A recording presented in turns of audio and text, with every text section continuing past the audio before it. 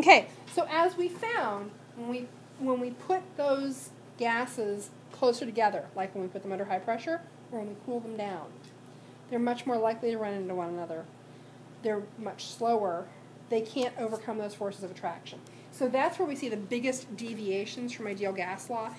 Gases, don't get me wrong, it's not all a lie. Gases do behave like ideal gases under a lot of circumstances. But we have those deviations, especially when we're under high pressure, low temperature.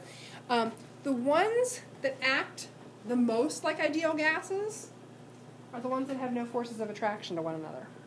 Noble gases. They're, they're so noble that they don't even need to interact. And they do behave like ideal gases.